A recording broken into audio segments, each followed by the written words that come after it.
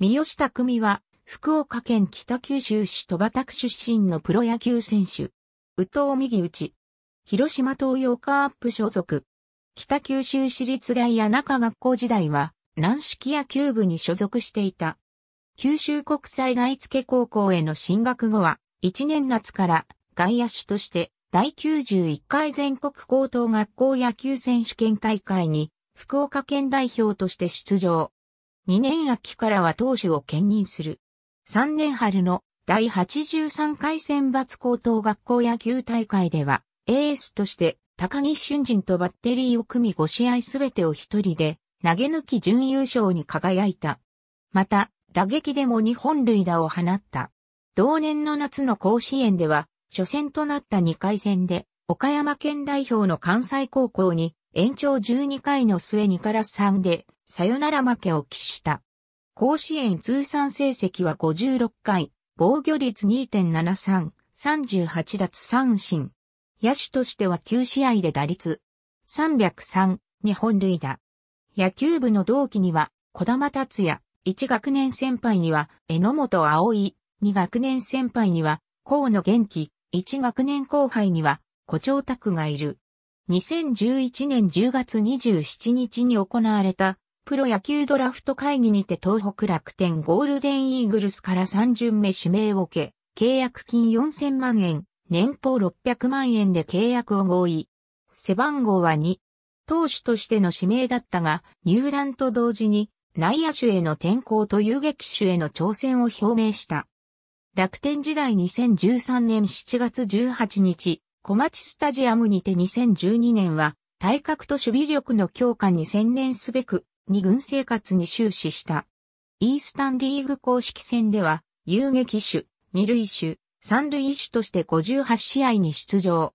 故障で一次戦線を離脱したが、打率254本塁打を記録した。2013年は、イースタンリーグの前半戦で打率276、2本塁打、20打点を記録するほどの好調を買われて、7月にプロ入り後初めて一軍に昇格。7月14日の対埼玉西武ライオンズ戦8回裏に遊撃手として一軍デビューを果たした。また、フレッシュオールスターゲームに出場を予定していたチームメイトの西田哲郎が故障で出場を辞退したため、代替選手として出場した。2014年は9月29日にシーズン初の一軍昇格。10月1日の対北海道日本ハムファイターズ戦では、一軍初のスタメンに起用されると、吉川光夫からの二塁打で一軍初安打を記録した。イースタンリーグ公式戦では13本塁打、60打点を記録するとともに、同リーグの優秀選手賞を受賞した。シーズン終了後に開かれた第1回 U-21 野球ワールドカップには、日本代表のメンバーとして出場。主に三塁手として活躍した。2015年は一軍の主力野手が相次いで故障や不振に見舞われるというチーム状況の下で6月12日にシーズン初の出場選手登録。6月21日の対千葉ロッテマリーンズ戦に9番三塁手としてスタメンに起用されると2回裏の打席に大峰優太からの安打で1軍初打点を記録した。1軍公式戦全体では9試合の出場で打率207にとどまったが、2塁打と3塁打を初めて放った。オフに背番号を57へ変更。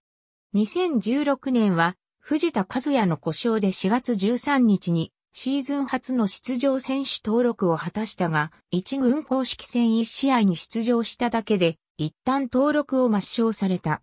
7月12日にシーズン3度目の出場選手登録。7月23日の対ロッテ戦で、関谷良太から一軍初本塁打を放つと、7月24日の対福岡ソフトバンクホークス戦で一軍初の猛打賞を記録した。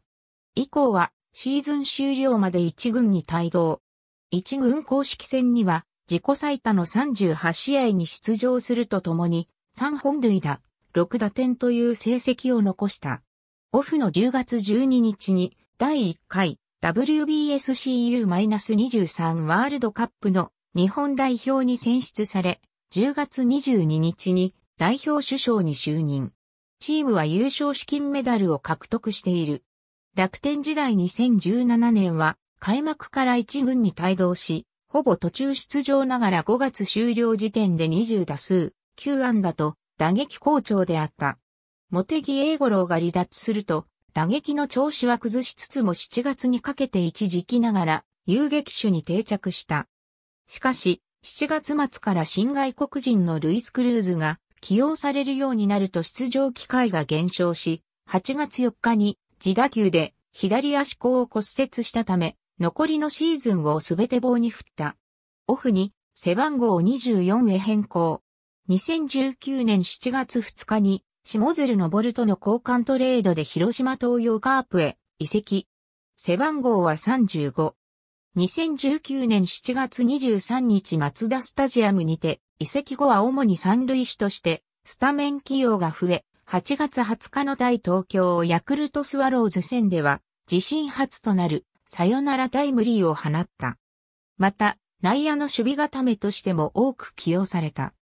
2020年は開幕から1軍に帯同。高校時代は時速 140km 台の速球と右打者にはスライダー、左打者にはチェンジアップを有効に使ったコンビネーションを武器に投手として活躍した。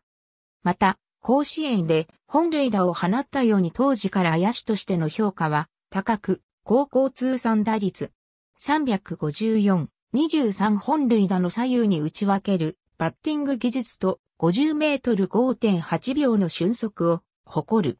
理想のバッターとして井口忠人のような右方向に長打を打てるバッターを挙げている。ありがとうございます。